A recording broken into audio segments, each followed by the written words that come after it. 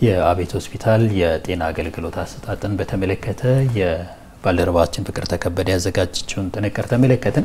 አሁንም ከጤና ጉዳይ አልወጣንም። በተለይ ዛሬ ደግሞ የማህፀን ጫፍ ካንሰር ክትባት እንደ ሀገር አቀፍ በዘመቻ መልክ የሚሰጥበት ወይም ደግሞ ዛሬ launch የሚደረግበት ቀን ነው። ይህም በተመለከተ እዚህ ስቱዲዮ ደግሞ እንግዳ ጋብዘናል። አዎ እንግዳችን በጤና ሚኒስቴር የክትባት አገልግሎት ዴስክ አማካሪ ወይዘሮ ጸጋነሽ ገድሉ ናቸው። እንኳን ደህና መጡ። እንኳን ደህና ቆያችሁኝ። መልካም እንግዲህ ዛሬ ክትባቱ የሚጀመር ነው እንደሆነ ተገልጿል። የማህፀን ጫፍ ካንሰር በሀገራችን ያለው ነባራዊ ሁኔታ ምን ይመስላል? ተጠቂነቱ ምን ያህል ነው? የትኛውስ እድሜ ላይ ያሉት ሴቶች ተጠቂ ናቸው ከሚለውን ጀምር። እሺ፣ አመሰግናለሁ። የማህፀን በር ካንሰር እንግዲህ በእንግሊዝኛው አጠራር ሂውማን ፓፒሎማ በሚባል ቫይረስ አማካኝነት የሚመጣ ነው። በአይን የማይታይና ጥንቃቄ በጎደለው የግብረ ስጋ ግንኙነት አማካኝነት ከሰው ወደ ሰው የሚተላለፍ በሽታ ነው። ይህ በሽታ እንግዲህ እንደ ዓለም አቀፍም ሆነ እንደ ሀገር አቀፍ ስናየው በርካታ የሆኑ ሴቶችን እያጠቃ እንዲሁም ለሞት እየዳረገ ያለ በሽታ ነው። እንደ ዓለም ብናየው ወደ 604 ሺህ የሚሆኑ ሰዎች በየአመቱ በቫይረሱ ይጠቃሉ ወይም ይታመማሉ።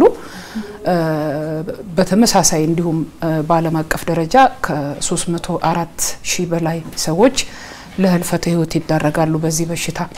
ወደ ሀገራችን ስንመጣ እንግዲህ የተለያዩ ሪፖርቶች እንደሚያሳዩት በተለይ ግሎቦካን የሚባል አንድ የዓለም አቀፍ ድርጅት በ2020 በፈረንጆች ያወጣው ሪፖርት የሚያሳየው በኢትዮጵያ ወደ 7445 በበሽታው የሚያዙ ህሙማንና እንዲሁም ወደ ወደ 5338 የሚሆኑ ሞቶች በየአመቱ እያስመዘገብን እንዳለን estimate አድርጎ ነግሮናል። እና አሁን የቁጥር ጉዳይ አይደለም።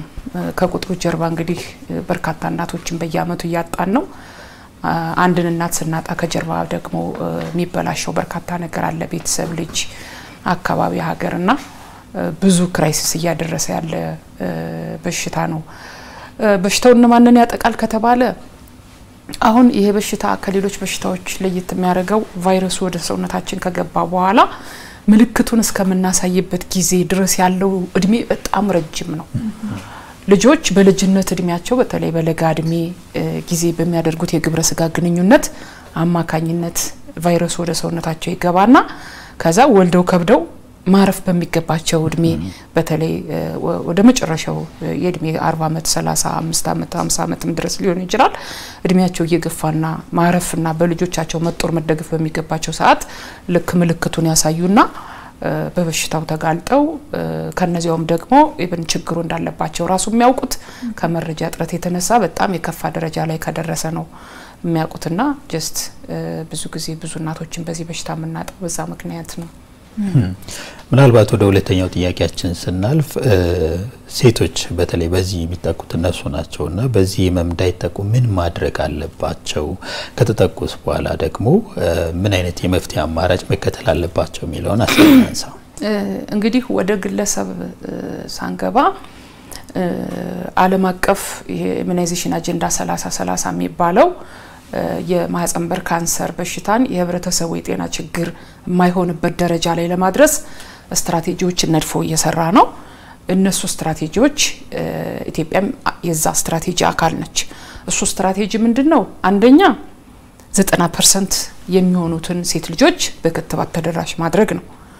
ሁለተኛው እድሜያቸው ከ35 ዓመት በላይ የሆኑ ሴቶችን የማህፀን በር ካንሰር የቅድመ ካንሰር ምርመራ እንዲያካሂዱ ማድረግ ቢያንስ ሰባ percent ኡ ሴቶች የዚህ ምርመራ አካል እንዲሆኑ ማድረግና የመጨረሻው ዘጠናው ደግሞ ተመርምረው ችግሩ ያለባቸውን ሴቶች ዘጠና percent ኡን ሕክምና እንዲያገኙ ማድረግ ነው።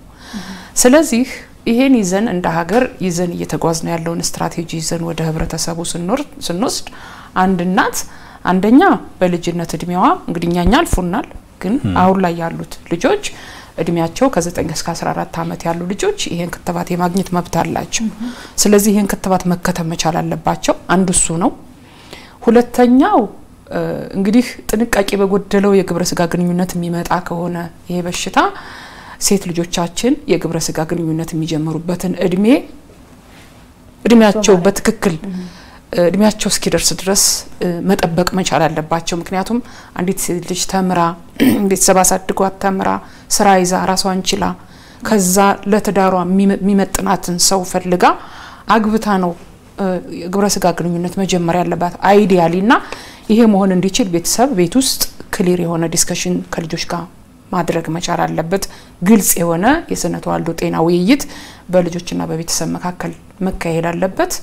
ማህበረሰቡ ይሄ ችግር ችግራችን እንደሆነ አውቆ just ልጆቹን ከዚህ ችግር መታደግ አለበት። ስለዚህ ይከተባሉ፣ ራሳቸውን ጥንቃቄ ከጎደለው የግብረ ስጋ ግንኙነት ይከላከላሉ።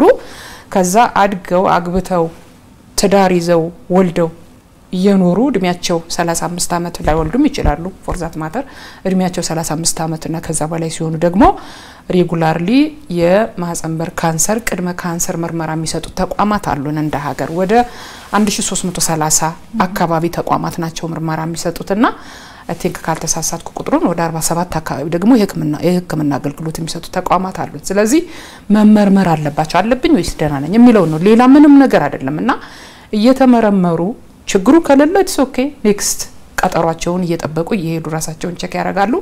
ችግሩ ካለ ግን የከፋ ችግር ሳይደርስ ወደ ከፋ ጉዳት ሳይሄዱ ቶሎ መታከም ስለሚቻል ወደ ነበረበት መመለስ ስለሚቻል እስከ ተወሰነ ደረጃው ድረስ ያንን አገልግሎት የማግኘት እድል ይኖራቸዋልና መከተብ፣ ጥንቃቄ የጎደለው የግብረ ስጋ ግንኙነት መቆጠብ፣ ከዛ ምርመራ ማድረግ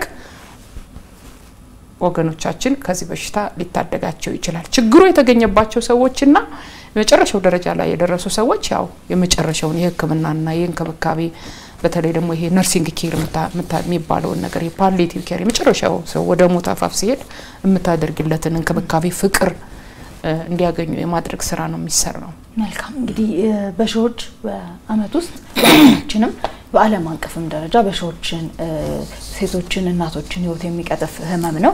ከዚህ ጋር በተያያዘ እንግዲህ ከሰሞኑ በዛሬው ዕለትም ይህንን ከማስቀረት አንጻር ክትባት እንደሚካሄድ በሀገር አቀፍ ደረጃ ሰምተናል እና ክትባቱ ለማን ነው የሚሰጠው? የት ነው የሚሰጠው? ምንን አልሞ ነው የተነሳው ክትባት? መልካም እንደተባለው የማህጸን በር ካንሰር በሽታ መከላከያ ክትባት እንደ ሀገር ዛሬ የካቲት 25 2016 ዓመተ ምህረት በሁሉም ክልሎች ይጀመራል። ዛሬ እኛ ጋም ጋዜጣዊ መግለጫ ይሰጣል በሚኒስትር office ደረጃ። ይሄ ክትባት ለማን ይሰጣል? እንግዲህ ዘንድሮ የምንሰጠው እድሜያቸው እስካሁን ድረስ ስንሰጠው እንደነበረው እድሜያቸው 14 ዓመት ለሆናቸው ሴት ልጆች በትምህርት ቤቶች አብዛኛዎቹ የኛ ልጆች ሁሉም ውስጥ ተማሪዎች ስለሆኑ በትምህርት ቤቶች፣ በጤና ተቋማት እንደዚሁም ደግሞ እንደው በተለያየ ምክንያት የመማር እድል ያላገኙ ልጆች ደግሞ በጊዜያዊ የክትባት መስጫ ጣቢያዎች ለዚህ ለዘመቻው ብለን የምናቋቁማቸው ስላሉ ወደ ህብረተሰቡ ጠጋ ብለን እዛ አካባቢ ክትባቱ ይሰጣል። ክትባቱ ለአምስት ቀን ነው የሚቆየው normally ግን ወደ ታች ሲወረድ እንደየ አካባቢዎቹ የዝግጅት ሁኔታ ወጣ ገባ ሊኖር ይችላል። አንዳንዶቹ ነገ ሊጀምሩ ይችላሉ፣ በቀበሌ ደረጃ፣ በወረዳ ደረጃ እሱ እነሱ ራሳቸው ዝግጅታቸውን ስለሚያውቁ ግን ናሽናሊ እንደ ሀገር የአምስት ቀን የክትባት ዘመቻ ብለን ነው አውጀን እየሰራን ያለ ነው።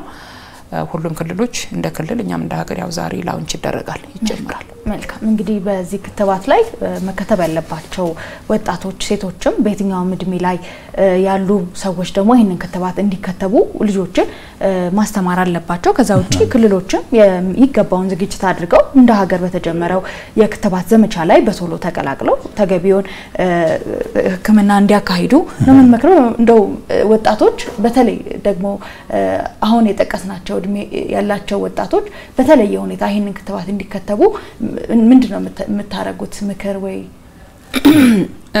እነዚህ ልጆች እድሜያቸው ከ18 ዓመት በታች ናቸው። ስለዚህ የኛ በብዙ መንገድ የመረጃ ተቀባዮቻችን ቤተሰብ ነው የሚሆኑት። በእርግጥ ልጆቹንም በትምህርት ቤት በመምህራን አማካኝነት መረጃው እንዲደርሳቸው እናደርጋለን እና ከዚህ ጋር ተያይዞ አንዱ ያው እንደ stakeholders ከትምህርት ሚኒስቴር ከሴቶችና ማህበራዊ ጉዳይ እንዲሁም ከሚዲያ አካላት እና ከሌሎችም ክትባት ላይ ከሚሰሩ አጋር ድርጅቶች ጋር እየሰራን ያለ ነው እና ትምህርት ሚኒስቴር ጋር ከሴቶችና ማህበራዊ ጉዳይ ሚኒስቴር በተለይ ደግሞ አካል ጉዳተኛ ማህበራት ላይ ያሉ አካል ጉዳተኞችን ያው እንደምናውቀው በርካታ ናቸውና እንደ ሀገርም ያሉን እነሱንም አካታች ከማድረግ አንጻር ከእነሱ ጋር የሰራ ናቸው በርካታ እንዲሁም ዘንድሮ ስለ ማህፀን በር ካንሰር በሽታ መከላከያ ክትባት እጅግ በጣም በርካታ መድረኮችን ነው የፈጠር ነው እንደ ሀገር እነሱ መድረኮች በክልሎችም ደረጃ ተካሂደዋል ብለን ነው የምናስበው እና ከነዚህ አካላት ጋር በርካታ ጊዜ ውይይት አካሂደናል።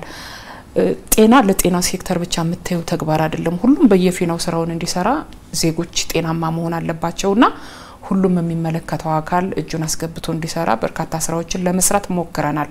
በየደረጃው ካለው ሚዲያዎች ጋር በርካታ ጊዜ ተገናኝተናል።